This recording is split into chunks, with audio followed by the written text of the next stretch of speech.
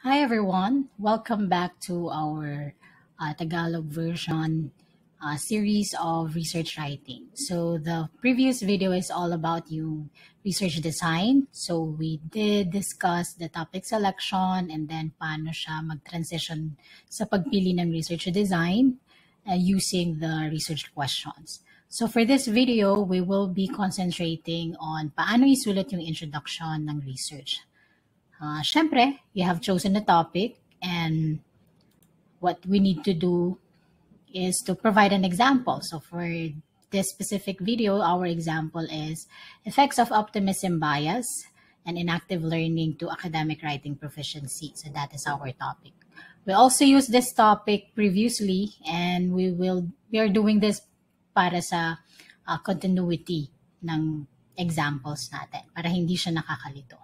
So we will start with research questions. So lahat ng research natin will always be based on our re- research questions. Siyempre, kaya tayo nagsusulit ng research kasi meron tayong mga tanong na dapat na sagutin. So for example, we would like to answer how do the optimism bias, the OB and EL, affect the Filipino college students' academic basic documentation proficiency?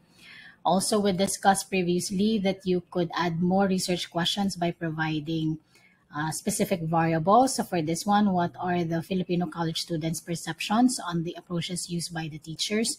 So you have included specific demographic of or the participants in your study, specifically Filipino college students. And then you can also add research questions number three. What could be the best approach to use in teaching academic writing to Filipino college students? So we will be using this specific paper, which is published last year, 2021, um, regarding the optimism bias and plagiarism. Okay. So una, syempre mag-research tayo. We, kailangan yung makahanap ng mga uh, published research papers that are connected to your paper. So, para ma-organize ang mga na-research ninyo, we need to use the three rhetorical moves in the introduction. So, that is from Swales. Okay. So, yung move one, that is called establishing the research identity. So, since you are looking for different empirical research paper that you can get idea from, dito nyo ma ma-establish yung research identity. So, paano siya ginagawa? A well-written introduction provides background of the study and should answer the following question. What is the problem to be solved? What are there any existing solutions? What do you hope to achieve? So, yun yung nilalaman dapat ng introduction.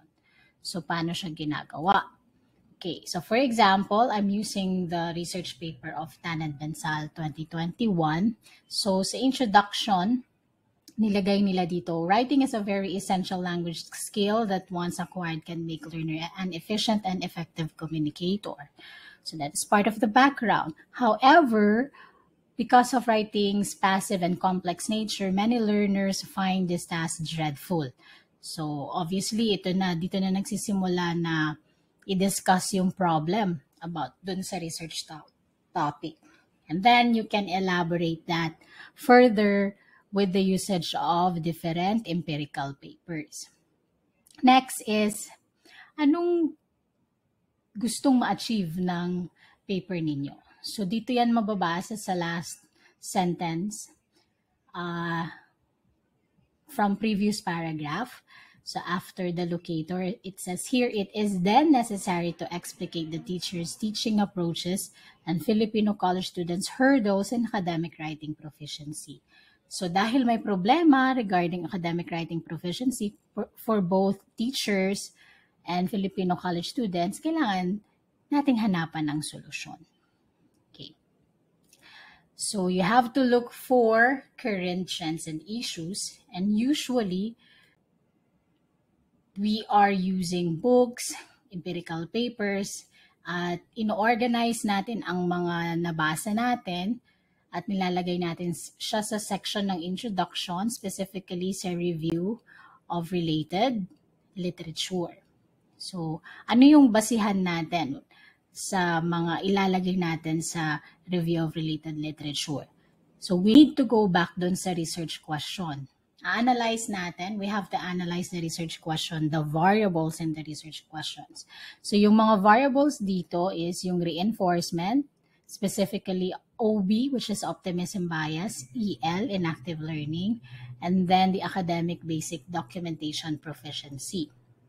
So, ilalagay natin sa review of related literature, yung una muna na variable natin is yung reinforcement. So, we will look for current trends and issues and we can find that in published empirical papers, in books, and we will provide a discussion for that, like this one. Okay. Ito naman yung discussion for the academic writing proficiency uh, problem. Specifically, nag-specify dito yung paper about plagiarism. So, i-discuss din natin yung mga nagiging problema. Okay. So, meron pang dalawang uh, variables na kailangan nating i-discuss, which is yung optimism bias. So, since optimism bias is a theory, so we can uh, organize it under the section of theoretical background. So, you will discuss ano ba yung theory at paano siya pwedeng makonect sa research topic ninyo, which is academic writing proficiency. And then, ito yung pangalawang theory na ginamit or yung uh, pangalawang uh, variable, inactive learning. So you will also discuss what is inactive learning and how can you connect it sa research topic ninyo. Okay. So, again, in establishing research identity, number one, pwede rin kayong mag-provide ng definition of terms kung yung research topic nyo is very complex. Second, background of the study, saan nanggagaling yung research, ano na bang mga pinagkuhaan ninyo ng idea. Next, ano yung problem na gusto nyong uh, ma-address sa paper ninyo? And then, ano yung mga current trends and issues na naisulat na ng mga empirical papers? At i-organize niyo siya sa review of related literature. Ganun din sa theoretical background section. So that's all for move number one, which is establishing the research identity. So you can check other videos. So ang susunod nating pag-uusapan is yung second move, which is the research gap. So to support this channel, please hit like, share, and subscribe. Kambattene!